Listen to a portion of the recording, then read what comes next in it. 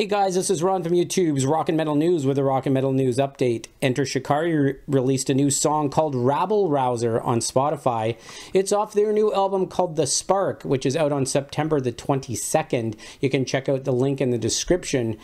And Clutch announced a tour with the Devin Townsend Project and The Obsessed. You can check out those tour dates in the description of the video. This is Ron from YouTube's Rock and Metal News. Thanks for tuning in.